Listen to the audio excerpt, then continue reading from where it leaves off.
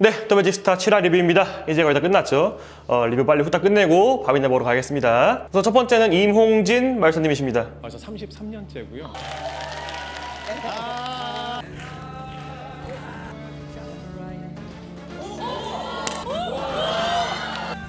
이렇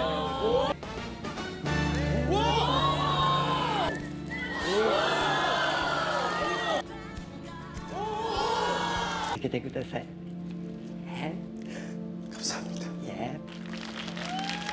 저는 굉장히 놀랐습니다. 이몽지 마술사님이 일본에 간 영상 그 초반 2초만 보고 설마 그 사람이 나올까 했어요. 아니나 다를까 희대상이 나왔습니다. 마술을 하는 사람으로서 더 매직스타 이런 방송이 너무나도 고마운 게 저는 저분이 방송에 나오는 모습은 처음 봐요. 어떻게 표현을 해야 할지 뭐야 모르겠지만은 일본 매직바의 살아있는 전설입니다. 일본 마술사는 물론이고 한국 마술사들 또한 히데상이 운영하는 매직바 하프문을 안 가본 사람이 더 적을 정도로 유명한 매직바입니다. 저도 한 번 가봤는데 매직바가 무엇인지 정수를 보여주는 공연을 하시더라고요. 그리고 그분이 실제로 하프문에서 하는 공연 중 굉장히 일부분을 이번 이봉지 마술사님이랑 콜라보로 진행을 했는데 저는 너무 재밌게 봤습니다. 각각 다른 영화에 나오던 히어로가 한 영화에 같이 나오는 느낌이었어요. 이 act의 제목 legacy처럼 일본의 하프문에서 한국의 골드레이블까지 매직바의 legacy를 보는 듯한 느낌이었습니다. 다음은 에릭 치엔 마술사님이십니다.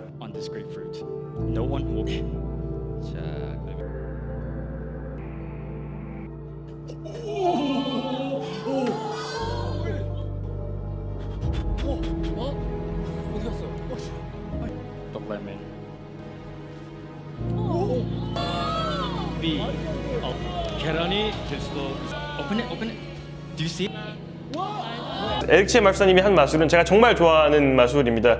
왜 그러냐 하면은 마술사들이 잘 안 하는 마술이에요. 저게 물론 과일도 여러 개가 필요하고 뭐 반지도 빌려야 하고 여러 가지 뭐 과정들이 있긴 하지만 준비 과정도 굉장히 복잡하고 마술의 해법적으로 거쳐야 할 허들이 몇 가지가 있어요. 그래서 그걸 어떻게 잘 헤쳐 나가냐에 따라서 이 액트의 완성도가 결정됩니다. 근데 문제는 이게 서현철 배우님도 그 해법적인 프로세스를 같이 연출해야 하니까 난이도가 조금 더 어려우실 수 있는데 그 부분을 굉장히 잘 해결했어요. 그래서 액트를 분석해 봤을 때 힘든 부분을 굉장히 똑 똑하게 잘 헤쳐나갔다라는 느낌이 들고 저 마술도 한국 방송에서는 잘 안 나온 마술인데 이렇게 보게 되니까 너무 신기했습니다.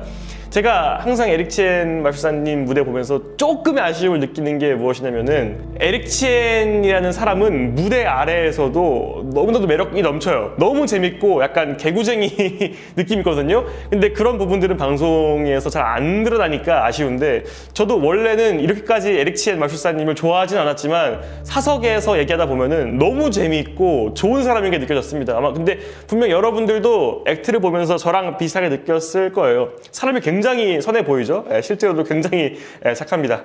어, 다음은 닥시 마술사님이십니다. 이걸 넣는다. Yes. 진출. 진출이야.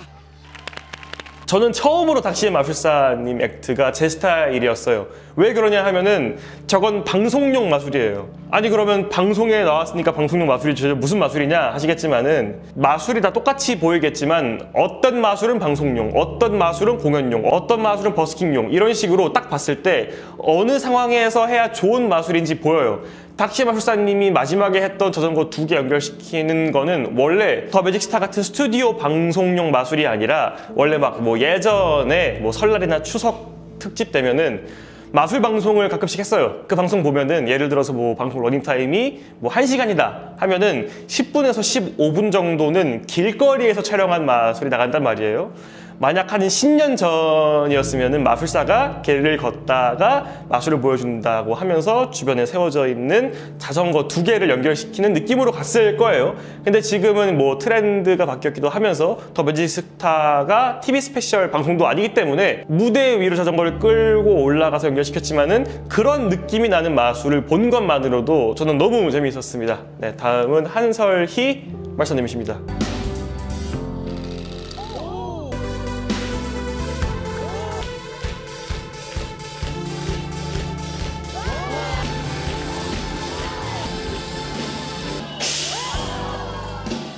저는 한설이 마술사님이 계속 액트를 보면서 느낀 게 뭐냐면은 어떻게 저렇게 마술 스타일을 확 바꿀 수가 있을까? 분명 한설이 마술사님 예전에 CD 매니플레이션으로 막 상을 휩쓸고 다녔을 당시에는 이런 친화적인 느낌을 느낄 수가 없었어요. 근데 직장 생활을 하면서 그런 감각이 생겼을 리는 없고 원래 그쪽으로 감각이 좋았던 마술사가 예전에는 CD 매니플레이션을 했지만 이제는 다른 걸 하는 느낌이에요.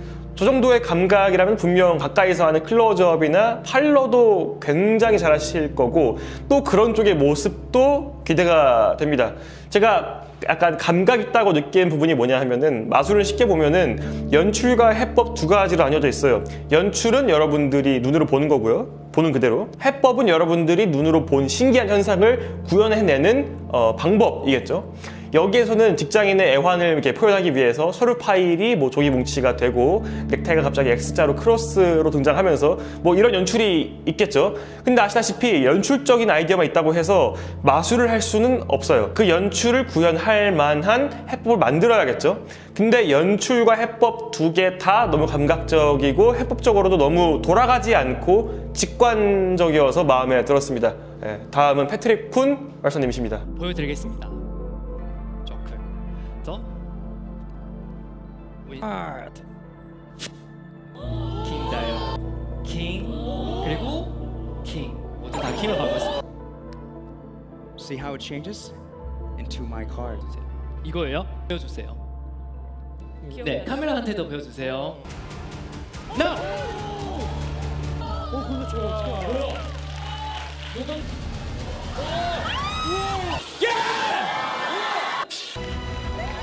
패트릭 쿤, 아, 저번부터 눈치채신 분도 있겠지만은 제가 패트릭 쿤 마술사님 뒤에서 act를 진짜 조금씩 조금씩 에, 도와주고 있습니다. 그래서 패트릭 쿤이 저한테 NCT 쿤님이랑 콜라보를 한다고 했을 때 굉장히 좋았어요. 왜냐하면은 저는 NCT 쿤님이 마술을 하시는 것을 제가 유튜브에서 많이 봤어요. 그래서 카드 핸들링이나 기술을 구상할 때 이미 잘하시니까 부담 없이 어, 난이도가 조금 있는 마술을 하셔도 뭐 충분히 다 소화를 할 수 있으니까 콜라보를 하기엔 너무나도 좋은 환경이잖아요. 최신영 마술사님이 다시 나온 것도 너무 좋았어요. 왜냐하면은 전 라운드 때는 최신영 마술사님이랑 패트릭 쿤 마술사님이 라이벌이었는데 이번 무대에서는 두 분 또한 콜라보를 했다고 생각을 하기 때문에 너무 재밌는 act였습니다. NCT의 쿤님의 핸들링 너무 좋았고 또 계속해서 말하지만 우리 최신영 마술사님 유튜브 하십니다. 유튜브 가서 구독 좀 해주세요.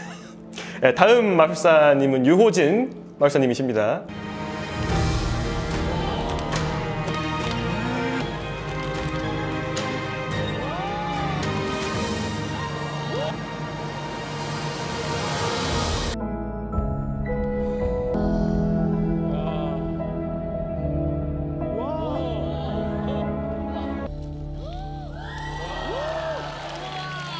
저는 유호진 마술사님이 하신 액트 중에서 이 액트를 가장 좋아합니다. 그 이유가 뭐냐 하면은 제가 원래 현상이 순식간에 확확 치고 들어오는 걸 너무 좋아해요.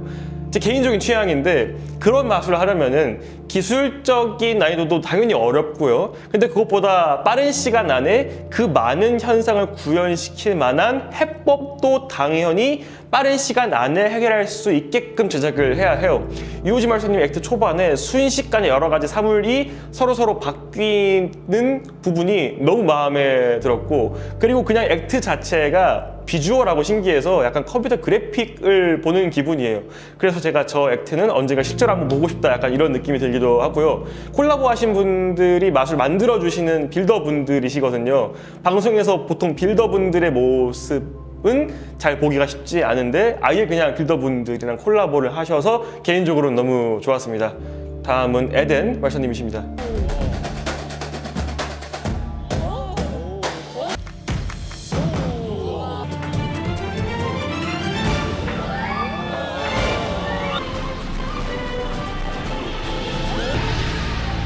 이번 에드마술사님 act는 어디 그냥 돈 주고 따로 봐야 하는 뮤지컬의 한 장면을 보는 느낌이었습니다.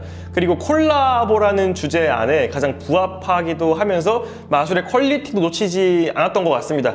콜라보를 하시는 분들이 태권도를 하시는 분들이라서 그런지 그러니까 몸을 사용하는 데 있어서 굉장히 유리한 면이 act를 잘 구성할 수 있는데 가장 큰 도움이 된 것 같고요.